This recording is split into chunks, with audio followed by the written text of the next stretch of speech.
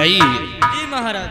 अभी तक मंत्री रंजीत सिंह वो रियासत की तरफ़ से वापस नहीं आए। क्यों नहीं महाराज? तुम लोगों को अच्छी तरह से मालूम है कि जब तक मुझे अपने प्रजा का कोई शुभ समाचार नहीं मिलता तब तक हमारे दिल को चैन नहीं आता। जी महाराज। और रंजीत सिंह के आने का इंतज़ार करते हैं।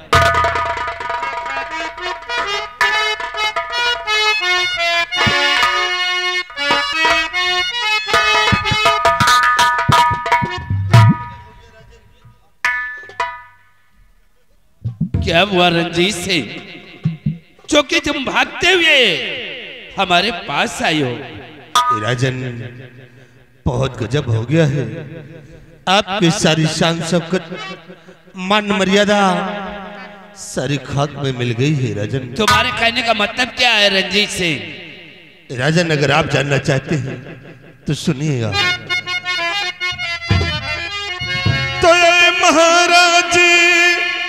कुछ न जाता कहा है महाराज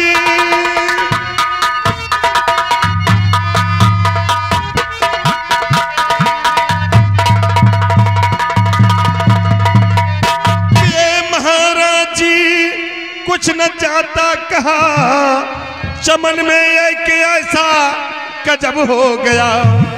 आपकी लाडली बेटी दीक्षा के संग एक लड़के ने आकर गजब कर दिया।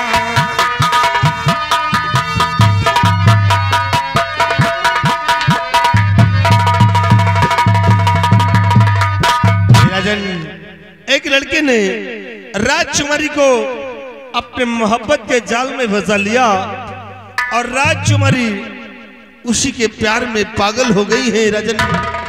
और आपकी सारी इज़्ज़त मान मर्यादा सब धूल में मिल गई। रंजीत सिंह। राजन। तूने जरा सा हमारा खौफ दिखाया। हमारी बेटी के खिलाफ आवाज़ उठाया है। नहीं राजन मैं सत्य कह रहा हूँ आपसे। मैं झूठ नहीं बोल रहा हूँ। तो बस खबरदार। रंजीत चुबा रोक लो। ऐसा कहते हुए शर्म आई नहीं। करते अपमान बेटी, बैठ चाक तू नाम बदनाम बेटी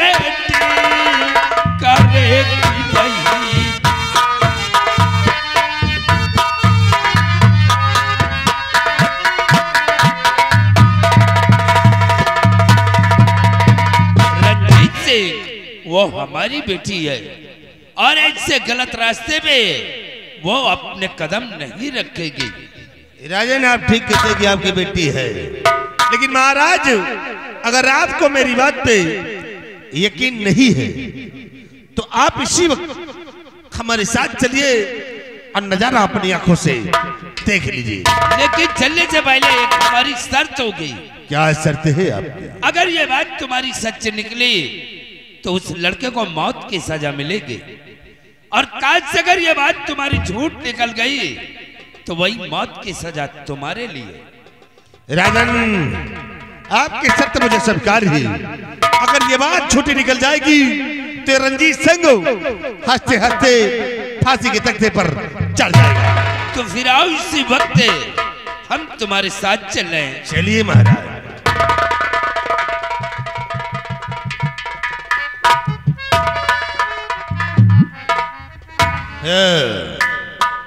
देव सिंह। अरे तूने मेरा माल छीना है, और मैं तेरी ज़िंदगी को छीन लूँगा। महाराज के दिल में मैंने आग लगा दी है, और तेरी मौत बन करके ये रंजीत सिंह आ रहा। और आए बलवीर सिंह। आज भी वो दिन हमें याद है कि एक दिन तूने कहा था कि मेरा सर्वगर्व से ऊँचा हो गया है। अरे बलबीर सिंह, अगर तेईस साले तेरा सर फरे दरबार में न झुकाया तो हमारा नाम रंजीत सिंह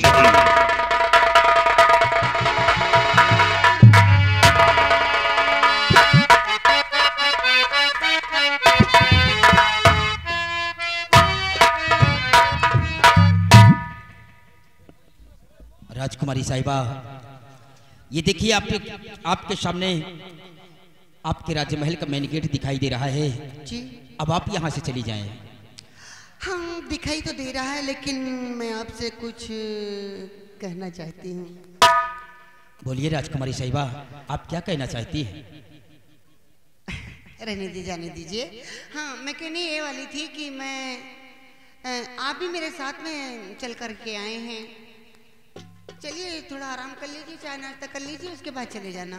नहीं राजकुमारी साहिबा अभी अभी आपने देखा भी और सुना भी कि जब तक मैं घर वापस नहीं जाऊँगा तब तक मेरी माँ भूखी प्यासी बैठी रहेगी। इसलिए फिर कभी आऊँगा तो चाय नाश्ता कर लूँगा लेकिन आज नहीं। अरे थोड़ा ही समय लगेगा बहुत समय समय नहीं लगाऊँगी मैं। आप चाय नाश्ता करके चले जाना। पाँच मिनट लगेंगे चाय नाश्ता करने में। नहीं राजकुमारी जी आप हमारा हमारी बात समझने की कोशिश कीजिए। हम कभी पिताजी के साथ आऊँगा तो फिर चाय नाश्ता राजकुमारी जी मैं कहता हूँ आप क्यों जिद करती हैं? छोड़िए ना मेरा हाथ। राजकुमारी जी मेरा हाथ छोड़िए।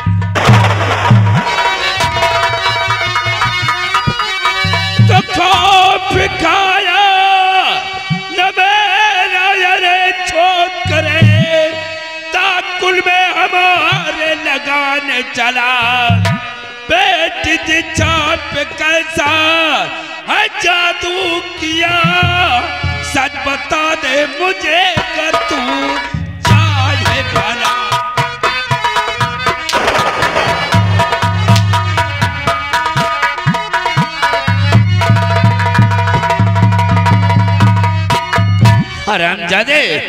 तूने जरा सा हमारा खौफ नहीं खाया। हमारी सांसों का तुम्हारी मान मर्यादा। को धूल में मिला दिया नहीं हुजूर। मैंने कोई ऐसे गलत कार्य नहीं किए जिससे कि हमारी वजह से आपकी शान और शौकत पे धब्बा लगे। मैंने तो सिर्फ़ अपना फ़र्ज़ पूरा किया है राजन।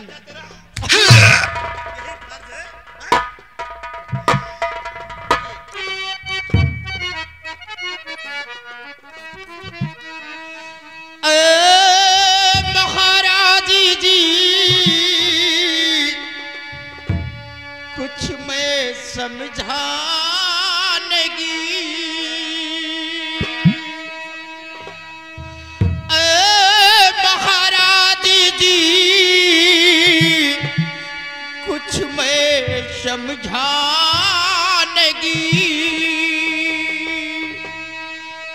गलत क्या मैं किया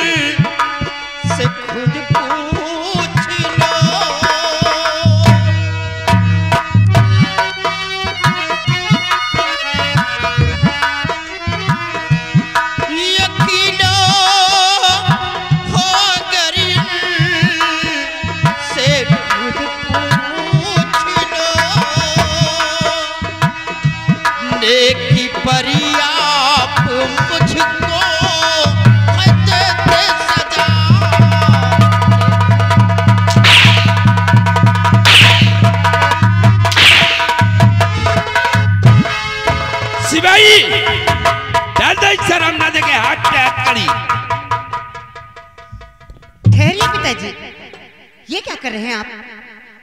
जो दोषी है वो तो निर्दोष बचा जा रहा है। कौन है दोषी? और जो बेकसूर उसको सजा मिल रही है मंत्री रंजीत सिंह दोषी है पिताजी। कमीने खामोश! ज़्यादा टर टर करने की कोशिश मत कर। काज से अगर मेरा वफादार मंत्री रंजीत सिंह न होता। तो आज इस बात का मुझे पता भी नहीं चलता। वाह पिताजी वाह। ये वफादार है। हाँ ये मेरा। सबसे बड़ा गद्दार है पिताजी। हाँ तो गद्दार है। राजकुमारी ये तुम नहीं बोल रही हो। तुम्हारे सर पे जो इश्क का भूत सवार है इसी का जादू बोल रहा यकीन ए, ले चल है। है पिताजी। पकड़ शराब नदी को और घसीटते हुए रात दरबार लेकर चलो। आइए रंजीत।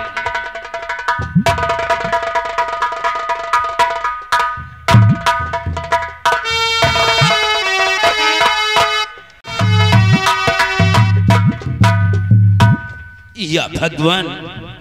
मैंने कभी ख्वाब में नहीं सोचा था कि हमारी बेटी एक दिन सयानी हो करके ये हमारे नाम को बदनाम करेगी। काश अगर मुझे ये मालूम होता तो बचपन में ही इसका गला दबा करके इस शर्म छाती को मार डालता। देख लिया। अब हमारी बात पे यकीन नहीं करते थे। और नज़ारा आप अपनी आँखों से देख लिया कि क्या गोल खिलाती थी हाँ? वाकई में रंजीत सिंह तुम्हारी बात सच निकली। अरे महाराज मैं कभी झूठ नहीं बोलता हूँ। रंजीत सिंह ले आओ उस लड़के को और इसी वक्त उसे फांसी के तख्ते से उस शर्मजादे को छूला दो। नहीं नहीं। ऐसा मत करिए। अपने हाथों से उसे मौत की सजा न दीजिए। महाराज, क्यों ना ये काम हम बलबीर सिंह को सौंपते हैं? क्योंकि बलबीर सिंह आपकी देश की भलाई के लिए हर वक्त सीमा सरहद दुश्मनों से टकराने को तैयार रहता है। और छोड़ दीजिए फैसला बलबीर सिंह में आज क्या फैसला करता है। रंजीत सिंह, इसी वक्त बलबीर सिंह को फ़ोन कर दो। और फ़ोन पे ये बोल दो कि जितनी जल्दी हो सके वो आकर के राज दरबार में हाजिर हो। जो आ गया। आई भाई। ले आइए फ़ोन। बलबीर सिंह को। और शीघ्र उसे राज दरबार में हाजिर किया जाए। जी साहब। अरे शत्रुघ्न तिवारी। बोलो। साहब जी का नंबर लोहा सिंह। साहब जी का नंबर जानते हो? जी। बताइए। पहले वाला नंबर लगाइए साहब का। कौन पहले वाला? अट्ठानबे अड़तीस। हाँ। तमान ज़ीरो बत्तीस। तमाम ज़ीरो बत्तीस?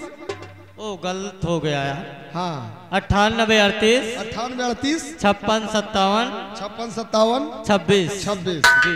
यही नंबर। जी। यार हमारा टावर ही नहीं ना यार। ये खूंटी है तीनों हो तो काम चले। पकड़ ले रायबरेली वाली खूंटी। पकड़ ली।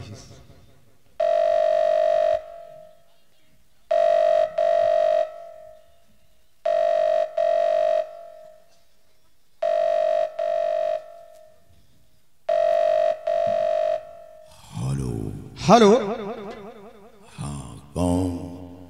मैं दरबार का लोहा सिंह सिपाही बोल रहा हूँ। आप कौन? सेनापत बलबीर सिंह। साहब जय हिंद। जय हिंद। साहब आपको जितनी जल्दी हो सके दरबार में आपको महाराज याद कर रहे हैं बहुत जल्दी आने का कष्ट करें। कोई ज़रूरी काम हाँ साहब ज़रूरी काम है। ठीक है महाराज से बोल दो। मैं बहुत जल्द दरबार पहुँच रहा हूँ। हेलीकॉप्टर से आना सर। ओके। महाराज जी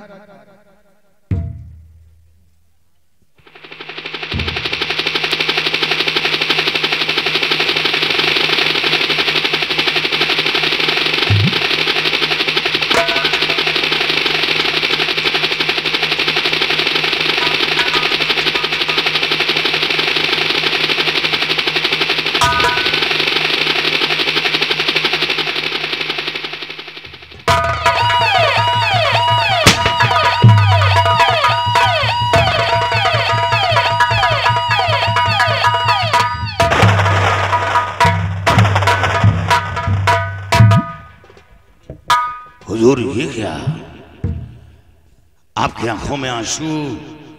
बात क्या है हुजूर?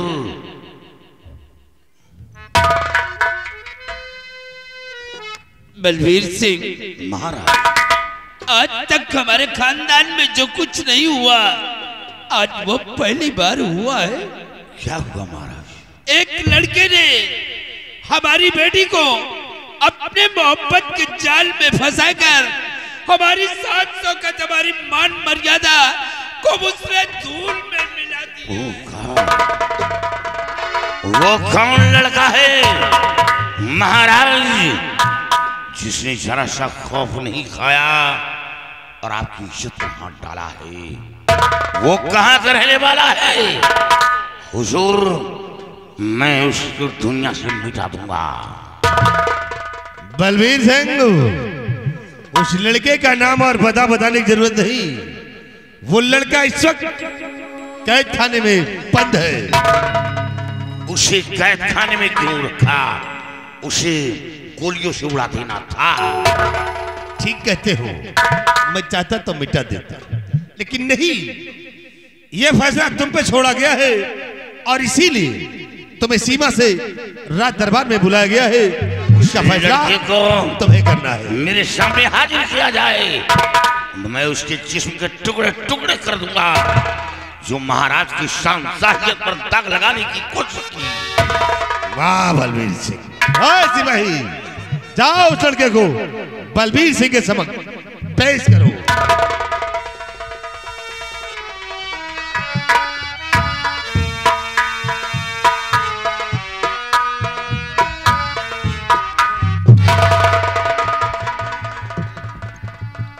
कौन?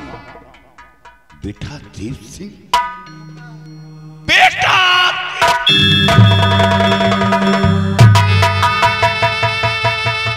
बलबीर सिंह इसी लड़के ने हमारी सांसों का हमारी मान मर्यादा को धूल में मिलाया है।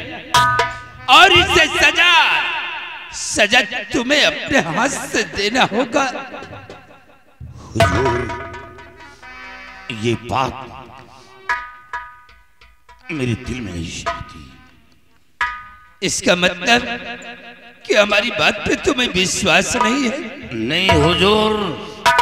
विश्वास है लेकिन हमें कुछ वक्त दिया जाए। मैं जानकारी करूँगा कितना बड़ा सपना अपने दिल के अंदर क्यों सजा लिया। बलबीर सिंह अगर ये बात है तो तुम्हारे लिए पाँच मिनट का वक्त है। लेकिन पाँच मिनट के बाद इसे सजा तुम अपने हाथ से दोगे। सिवाई देव सिंह की हथकड़ी खोल दो और सब लोग हमारे साथ आओ।